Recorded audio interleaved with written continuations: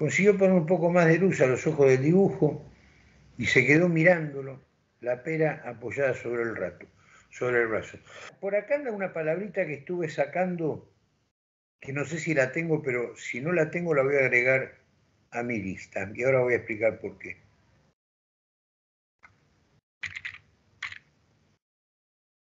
Sí, la tengo. Rato, la tengo. Ya está, listo, no dije nada. Vamos a explicar el por qué lo, tengo la palabra rato.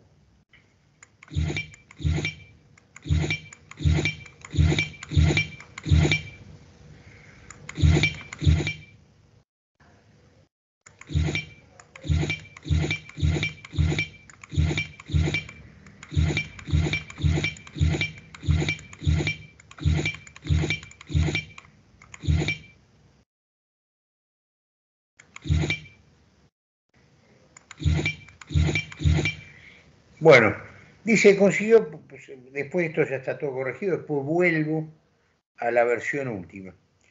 Dice, y quedaba mirándolo un rato apoyado sobre su antebrazo.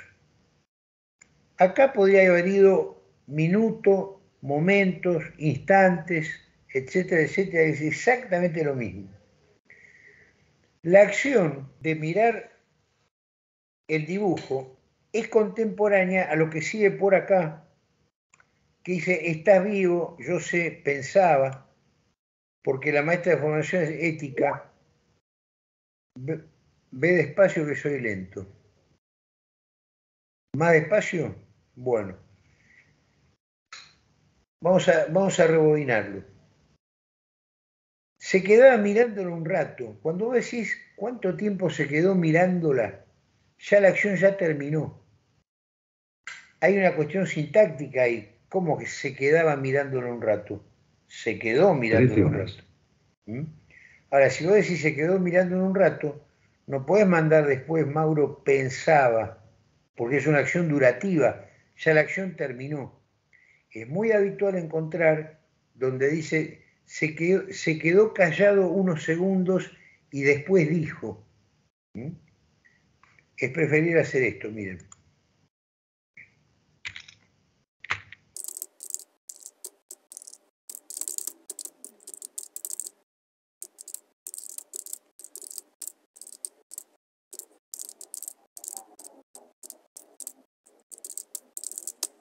Fíjense esto.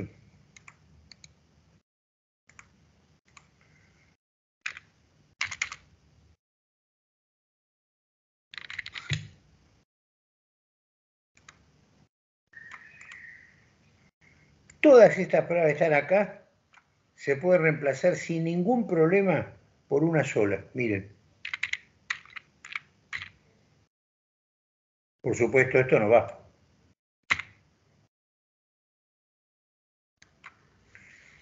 Comparen una con la otra. En la primera versión de la frase del Parlamento y la acotación, el autor está con una especie de cronómetro midiendo los minutos, los segundos, los instantes, los momentos, el rato.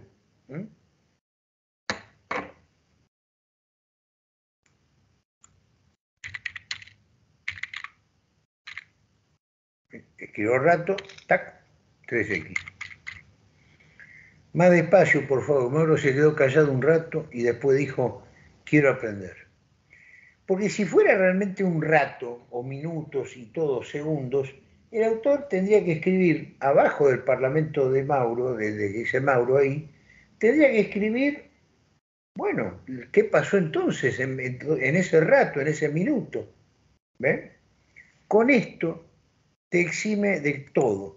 El lector le pone el tiempo que se le antoja no va a ser un tiempo muy largo, porque si fuera un tiempo muy largo, acá, acá, de acá abajo, habría que exponer qué pasó en el medio, ¿ves? Mientras el otro se quedó callado.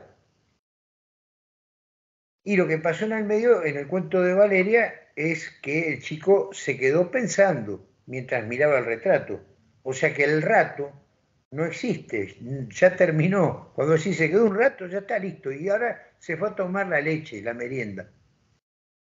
¿Está clarito, Mauro? Y compañeros, y Valeria, por supuesto. Sí, Marcelo. Perfecto. Entonces, la moraleja, ¿cuál es? Pongo instantes, pongo minutos, pongo momento, pongo momentos. Ah, momento me falta. Ahora después la voy a sumar. Me explico, ¿no? A ver si segundos la tengo. Clarísimo. Mira, segundos. Bueno, estas cuatro palabras, cinco palabras, porque ahora mismo le voy a poner la mía, eh, autocorrección, eh, pongo momentos y momentos X, X, X. Con eso, automáticamente van a escribir mejor, así nomás, de un día para el otro. Van a escribir así, ¿ven? Como esto que está acá. Más despacio, por favor, Mauro cayó. Quiero aprender. ¿Ves? ¿Por qué lo digo? Fíjense.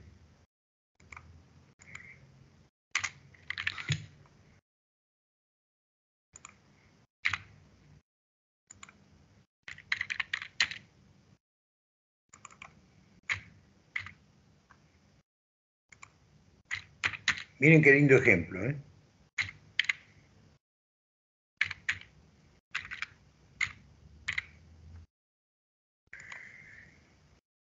¿Es lo mismo? No es lo mismo. Más despacio, por favor, dijo Mauro, que quiero aprender. Miren acá. Más despacio, por favor, Mauro cayó. Quiero aprender. ¿Es lo mismo? No, no es lo mismo. Claro, abajo es continuado, exactamente, esa es la palabra. La acción es más rápida. ¿Mm? cambia el ritmo. Cambia el ritmo. En el, ritmo de la primera oración es un ritmo cansino, se ve que el personaje que habla ahí está preocupado, deprimido, muy interesado en aprender. El otro puede ser tranquilamente esto, miren.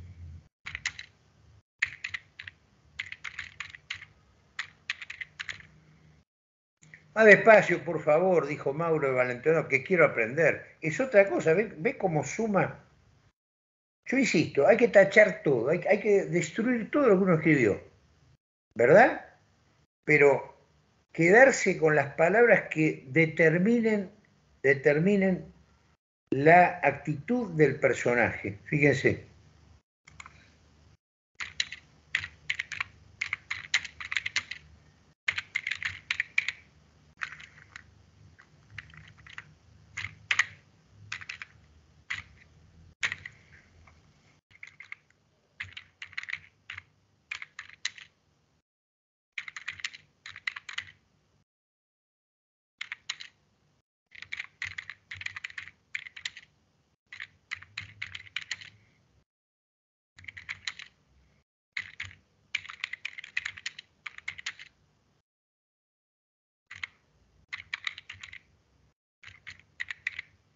¿Qué me cuentan?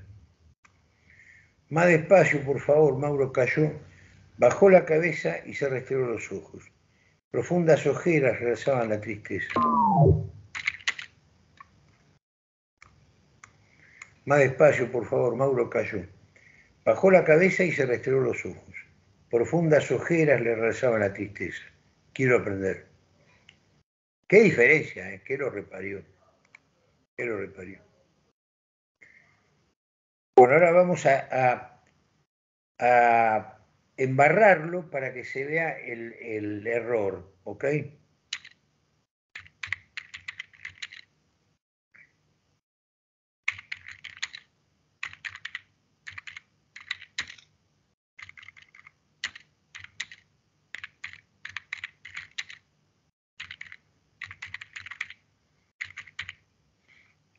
Es un disparate, lo sé, lo sé. Pero este disparate, cámbienlo por